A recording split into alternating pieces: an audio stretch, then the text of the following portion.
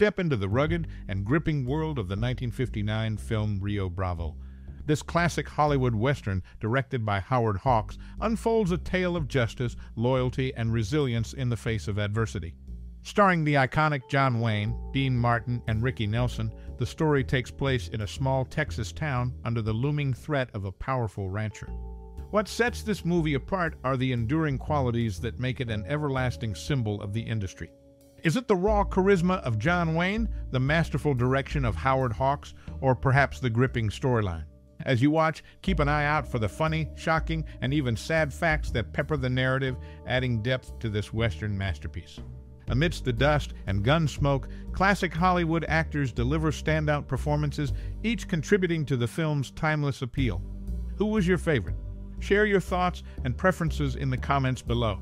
Before you go, we're curious what's your most cherished memory or personal experience related to this classic? Share your stories and memories. So keep watching for the surprising twists and turns and let us know your thoughts in the comments. Your experience might just be the missing piece in someone else's puzzle. Stay tuned for more insights and anecdotes. And remember, we're all ears for your Rio Bravo tales. Happy watching. Rio Bravo, released in 1959, carved a lasting niche in cinematic history, resonating with audiences and leaving an enduring impact on popular culture. Directed by Howard Hawks, the film was met with critical acclaim during its time, praised for its gripping narrative, compelling characters, and masterful cinematography. The movie's reception was a testament to its ability to captivate audiences, solidifying its status as a classic within the Western genre. It not only showcased the talents of its cast, led by John Wayne, but also demonstrated Hawks' directorial prowess. The chemistry among the characters, particularly between Wayne and Dean Martin, contributed to the film's widespread appeal. Beyond its immediate success, the film spawned a legacy that extended far beyond the silver screen. It inspired a series of spin offs and adaptations, showcasing its enduring influence on the entertainment industry. Various television shows drew inspiration from its narrative, paying homage to the thematic depth and character dynamics. The impact of this cinematic milestone also transcended the screen into the realm of merchandise. The characters became iconic, leading to the creation of a range of products, from action figures to apparel, reflecting the enduring popularity of the film. Moreover, the movie's narrative and characters influenced subsequent westerns, shaping the conventions of the genre for years to come. Filmmakers drew inspiration from its storytelling techniques and character archetypes, cementing it as a touchstone for Western cinema. In conclusion, Rio Bravo stands as a cinematic milestone not only for its excellence during its release, but also for the indelible mark it left on popular culture. Its impact is evident in the array of spin offs, merchandise, and adaptations that followed, ensuring its place in the annals of film history. Rio Bravo, a classic 1959 Western film, was brought to life through the collaboration of talented creators, producers, and directors. The film was directed by the renowned Howard Hawks, known for his mastery in various genres. Hawks, with his keen storytelling ability and distinctive style, played a pivotal role in shaping the movie's narrative. On the production front, Hawks teamed up with Jules Furthman and Leigh Brackett, who skillfully crafted the screenplay. Their combined expertise contributed to the film's compelling plot and engaging dialogue, ensuring a seamless flow that captivated audiences. Turning to the cast, the film featured an ensemble of notable actors, each delivering memorable performances. John Wayne, an iconic figure in Western cinema, took on the role of the sheriff, bringing his trademark charisma and rugged charm to the character. Dean Martin, in a departure from his usual roles, portrayed Dude, the alcoholic deputy, showcasing his versatility as an actor. The casting process for Rio Bravo was not without its share of interesting trivia. Angie Dickinson, who portrayed Feathers, was chosen for her strong on screen presence and chemistry with the rest of the cast. Ricky Nelson, primarily known as a teen idol, surprised audiences with his role as Colorado, showcasing his acting talent beyond his musical fame. In addition to the main cast, Walter Brennan's portrayal of Stumpy added a touch of humor and warmth to the film. The chemistry among the cast members was palpable, contributing to the film's success. In conclusion, Rio Bravo stands as a testament to the collaborative efforts of its creators, producers, and directors. The carefully selected cast, with each actor bringing their unique flair to their roles, played a crucial role in making the film a timeless classic in the Western genre. Rio Bravo left an indelible mark on cinema, its impact resonating beyond its 1959 release. Notably, it served as a blueprint for subsequent films such as El Dorado and Rio Lobo. In a fascinating turn of events, Dean Martin's agent orchestrated a memorable encounter with director Howard Hawks, ultimately securing Martin's role as the inebriated deputy dude. The film's success prompted Hawks and screenwriter Leigh Brackett to rework its script for El Dorado, featuring a nearly identical narrative with Robert Mitchum assuming the role of the intoxicated deputy, now a sheriff. The cycle continued with Rio Lobo, where Hawks and Brackett made further tweaks, creating what could be considered the second remake. During filming, John Wayne, a constant presence in these adaptations, amusingly questioned the deja vu, wondering aloud, haven't we made this movie before? These cinematic iterations, interconnected in their essence, underscore the enduring influence of Rio Bravo on the Western genre. The seamless transitions between films and recurring cast members testify to the impact of this iconic work on subsequent creations.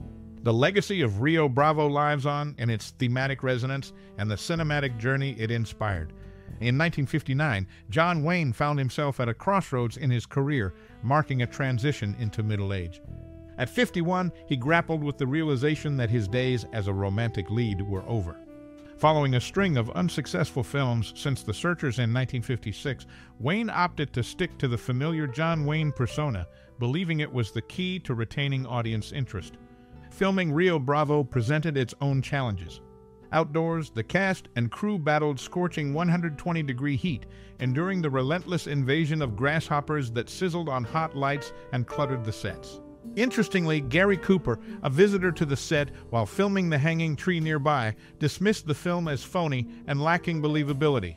This critique held particular weight considering that Rio Bravo was conceived as a response to Cooper's own film, High Noon.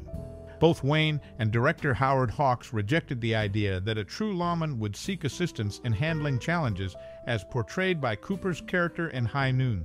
These behind the scenes insights into Wayne's career choices and the practical hurdles faced during filming provide a nuanced perspective on the making of Rio Bravo. The film, crafted as a reaction to industry trends and artistic differences, stands as a testament to Wayne's determination and Hawks' vision in the ever evolving landscape of cinema. In the late 1950s, the movie brought together an unprecedented ensemble of six actors prominently featured above the title John Wayne, Dean Martin, Ricky Nelson, Angie Dickinson, Walter Brennan, and Ward Bond. This departure from the norm, where only Wayne's name typically took precedence, was a notable choice for the time. Crafted by Howard Hawks and John Wayne, the film served as a deliberate counter response to the prevailing theme and perspective of High Noon. The decision to collaborate on Rio Bravo was a conscious divergence from the narrative style propagated by High Noon, with its emphasis on a lone lawman seeking assistance, a notion strongly rejected by both Wayne and Hawks. During filming, John Wayne's query to Howard Hawks, Dean Martin has all the fireworks. What am I supposed to be doing? led to a crucial insight. Hawks, in response, suggested a role akin to watching over a friend battling alcoholism. Wayne, understanding the direction, nodded and declared, I know what to do. The film's distinctive ensemble, the deliberate departure from prevailing themes, and the nuanced approach to Wayne's character underscore Rio Bravo's unique position in the landscape of cinema. These elements, coupled with the on-set insights into character dynamics, reveal the intentional choices made in the making of this classic Western. Howard Hawks broke a four-year hiatus with his 1959 film, returning to the director's chair. Living in Europe during this break, he observed the rising popularity of character-driven Western TV shows. This insight inspired him to create a Western with multiple character storylines instead of a singular plot. Despite initial studio reluctance, the decision to cast John Wayne as the lead swiftly gained approval. Ricky Nelson's inclusion, despite Hawks' reservations about his age and weight, turned out to be a box office boon, adding an estimated 2 million to the film's success. Howard Hawks had initially limited Nelson's lines intentionally. Angie Dickinson secured her role based on Hawks' viewing of her performance in the case of The One-Eyed Witness. This casting choice added to the ensemble, contributing to the film's dynamic and character-driven narrative. In summary, Rio Bravo marked Howard Hawks' return after a prolonged break, driven by a shift towards character-focused storytelling influenced by the popularity of Western TV shows. The casting decisions, including John Wayne and the unexpected success of Ricky Nelson, played pivotal roles in the film's impact, proving that character-driven narratives could thrive in the Western genre. Angie Dickinson's addition further enriched the ensemble, contributing to the film's success. In Get Shorty, Chili Palmer contrasts the roles in Rio Bravo and El Dorado. Robert Mitchum and Dean Martin both played the inebriated character, a role John Wayne reprised in both films. The film's score features the haunting El Degüello theme, known as the Cutthroat Song. This ominous tune, linked to General Antonio Lopez de Santa Anna, also appeared in John Wayne's The Alamo. Ennio Morricone's composition for A Fistful of Dollars echoes Dmitri Tiomkin's Degüello from Rio Bravo. Footage from the movie was incorporated into flashbacks in John Wayne's last film, The Shootist, portraying him as a younger man. Straightforwardly highlighting its impact on subsequent works and the recurring theme in its music, the TV movie holds a lasting influence in cinema.